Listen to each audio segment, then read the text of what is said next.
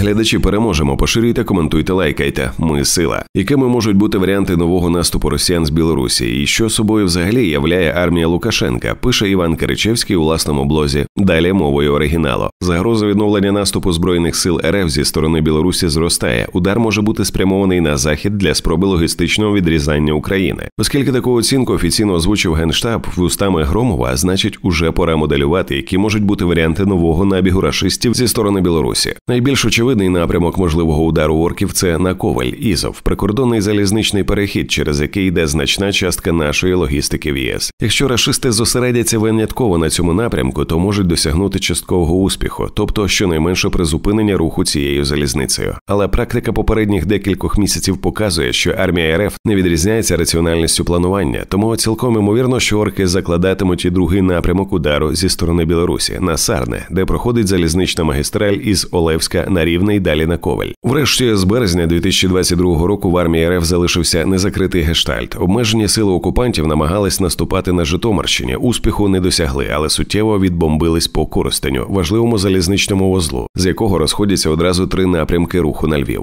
Тому цілком ймовірно, що під час планування нового удару з Білорусі рашисти закладуть і третій напрямок удару на Овруч і далі на Коростень. Ну і ще побіжно на Житомир. За конфігурацією виходить щось на кшталт тримейку арденського контрнаступу німців у 1944 році. Там же план на папері виглядав гарно, але доволі швидко отримали на горіхи і відступили. А потім полонені генерали Вермахту бідкались в мемуарах, що краще було б стати в глуху оборону. Україна має настільки щільну мережу залізниць та автотрас, що для їх прикриття не вистачить ніякої кількості юнітів. А наступати рашистам зі сторони Білорусі доведеться в напрямку, де, окрім всього іншого, є доволі щільна мережа аеродромів. Кількість чмобіків у РФ насправді не гумова, тому схоже, що угрупування в 9 тисяч орків, 170 танків та 200 ББМ це максимум, який можуть стягнути росіяни в Білорусь, бо кадри й танки потрібніші на інших напрямках. Для розуміння порядку цифр, щоб утримати позиції біля Сватового, росіяни за деякими прикидками зібрали приблизно 20 тисяч багнетів. А той самий третій армійський корпус, хоч і мав 10-12 тисяч багнетів, але ж стерся лише за місяць оборонних боїв.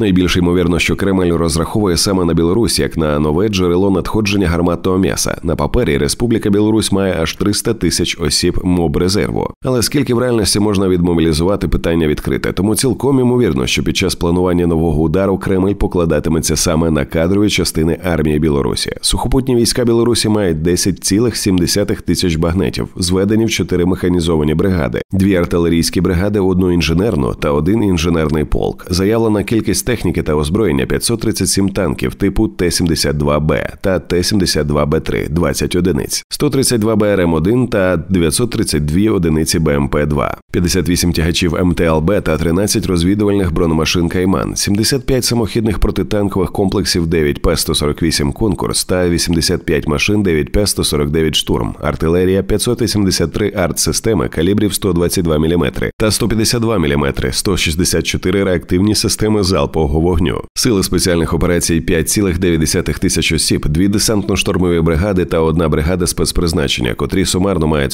185 бронетранспортнерів, БТР-70 і БТР-80, 24 гаубиці Д-30 калібру 122 мм та 18 САО-2 Б-23 Нона М1. Білоруський ВПС 28 винищувачів Міг-29 та 6 літаків Міг-29 УБ, 4 Су-30СМ, 22 штурмовики типу Су-25К УБК, 12 навчально-бойових Як-130 та 12 навчальних Л-39, 12 ударних вертольотів Мі-24 та 20 гвинтокрилів Мі-8. Зараз я схильний вважати, що у разі підготовки ударів зі сторони Білорусі рашисти формуватимуть угрупування еквівалентне армійському корпусу, і схоже, що весь задум Кремля верстається саме під те, що саме білоруські частини будуть ядром цього угрупування. Але наскільки вдало росіяни вміють застосовувати різнорідні угрупування, бачимо, хоча б на прикладі того, як оркам довелось тікати з Куп'янська, Ізюма та Лимана, і в оборону Бахмута вони теж вперлись, уже який тиждень б'ються лобом. На підготовку нового наступу з Білорусі росіянам знадобиться від одного до чотирьох місяців, і цей час послужить зміцненню нашої оборони, щоб гідно відбити нову загрозу. До зустрічі, глядачі, переможемо. Поширюйте, коментуйте, лайкайте. Ми сила.